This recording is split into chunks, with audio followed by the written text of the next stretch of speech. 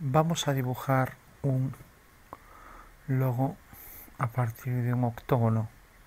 Cogemos un polígono regular, escribimos 8 número de lados, enter, escribimos L, enter y marcamos la posición del lado. Vamos a F8 y tenemos ya el polígono. Entonces cogemos ahora el color rojo y hacemos un polígono ahora escribimos del lado 4 enter L enter y marcamos ahí la posición del polígono. Y ahora hacemos otro. Repetimos botón derecho repetir polígono.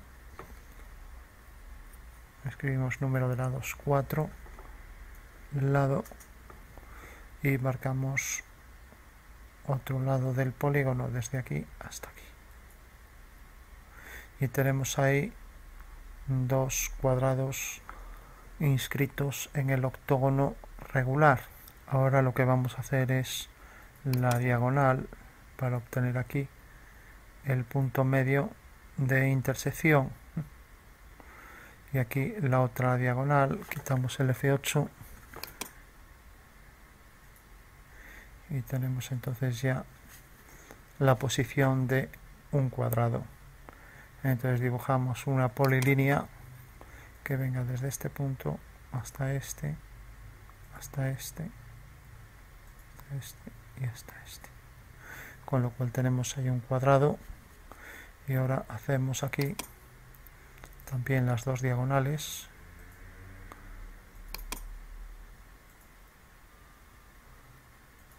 Y hacemos aquí otro cuadrado.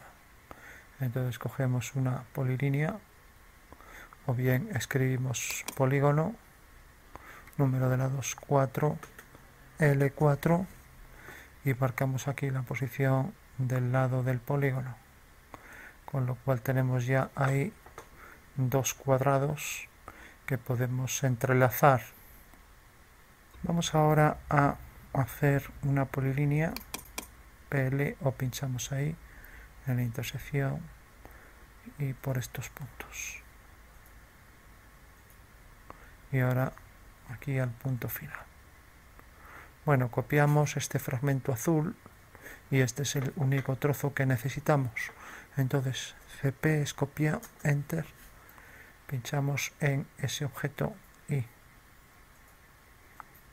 el centro de la figura ahí lo tenemos eliminamos esto y ahora hacemos una matriz MA enter número de elementos 8 girar 360 centro de la matriz este punto y seleccionar objetos esto. Y le damos a aceptar. Bueno y ya tenemos ahí la figura que queríamos construir bueno pues estos son los dos cuadrados entrelazados y a partir de aquí ya podríamos hacer nuestro logo formado por esos dos cuadrados si queremos pues hacemos un par de líneas en color verde. Venimos aquí y dibujamos una línea que venga de aquí a aquí y otra línea que venga de aquí a aquí.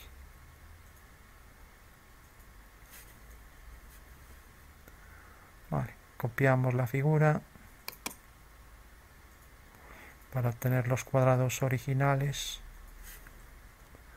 Eliminamos las dos líneas verdes y por último hacemos una línea que venga desde este punto hasta este para tener el centro de la figura aquí tenemos este cuadrado con sus cuatro trozos que podemos incorporar vamos a hacer que sean en vez de 4, 8. Entonces escribimos MA, Enter, seleccionar objetos, vamos a seleccionar estos dos.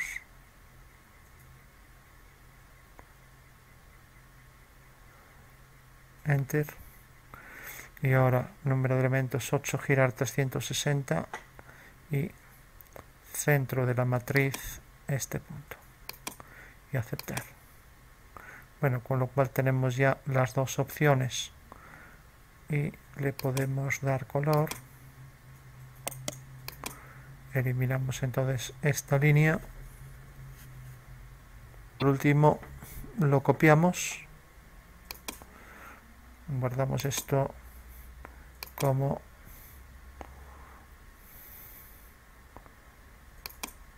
roseta 3 y pegamos nuestra nueva figura y le damos los colores que queramos. Entonces si aquí hicimos esa variedad en rojo en azul y verde. Es para hacer las mezclas. Entonces tenemos aquí este color que ponemos aquí.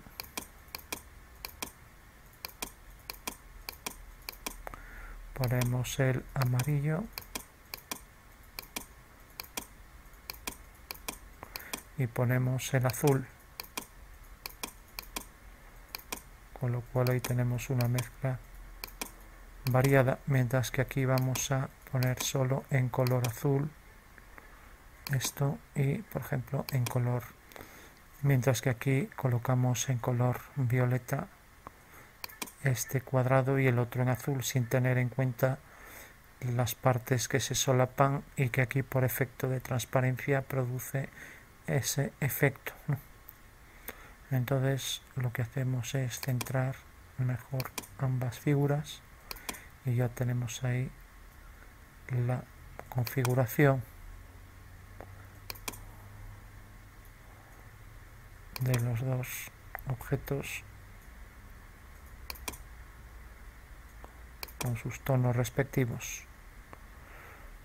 Estas figuras se suele distinguir mejor desde lejos los efectos de transparencias que desde cerca, o sea, viéndolas de lejos por la imagen global holística, produce más el efecto de solapamiento que si las vemos de cerca en grande, como vemos ahí ambas figuras.